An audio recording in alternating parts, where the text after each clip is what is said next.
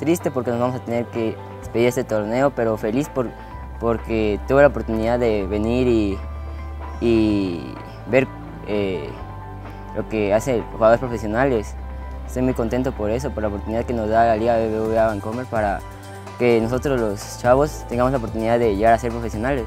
Eh, humildad, respeto, que hay que entregar todo en el campo, jugar bien, limpio todo eso.